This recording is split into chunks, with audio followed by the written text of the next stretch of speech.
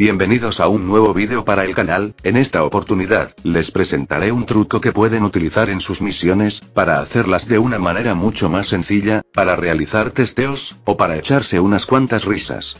Sin más que decir, y esperando que el vídeo sea de su agrado, comencemos.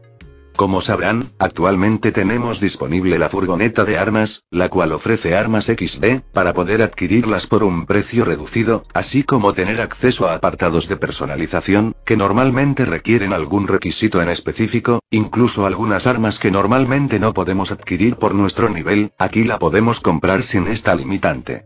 Algo curioso que noté cuando hacía un contrato de taller, fue que la furgoneta de armas aparece en misiones, que te mandan una sesión aparte para que las realices, aunque eso sí, su icono no aparecerá en el radar, por lo que deberás recordar su ubicación. En la descripción de este vídeo, te dejaré el link a una página donde puedes visualizar su ubicación de la furgoneta de armas, la cual rota cada día de la vida real. Lo que me sorprendió al acercarme a la furgoneta, es que puedes comprarle armas, así estés en misión. Hay que recordar que existen misiones donde nos limitan nuestro arsenal, y tenemos que usar a fuerza dicho arsenal. Un claro ejemplo, son los contratos del taller. Cuando compres armas en la furgoneta, estas se equiparán inmediatamente a tu arsenal, y podrás modificarla. En caso que ya cuentes con las modificaciones compradas, solo tendrás que equiparlas.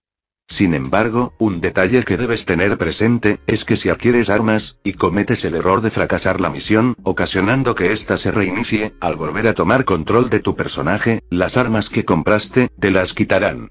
Por ello, si vas a comprar armas para utilizarlas en este tipo de misiones, ten mucho cuidado de ser eliminado, o fracasar en el objetivo de la misión.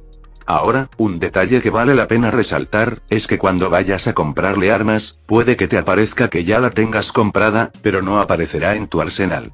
Esto se debe a una sencilla razón, y se llama, arsenal personalizado.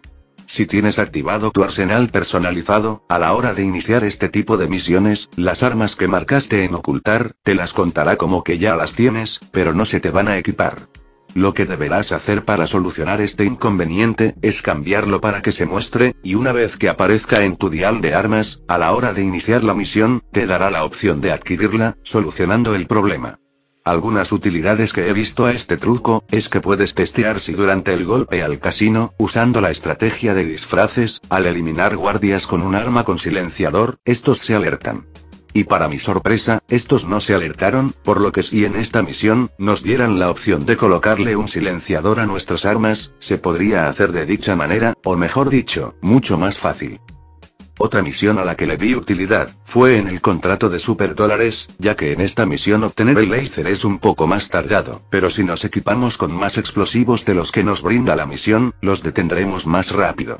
Algo que he notado en esta misión, es que el fusil electromagnético no hace mucho daño al remolque, el que sí le inflige buen daño, es el lanzacohetes, así como la minigun, y ambas, las obtienes gracias a tu equipo de apoyo, solicitando una emboscada, aunque para ello, necesitarás tener reputación.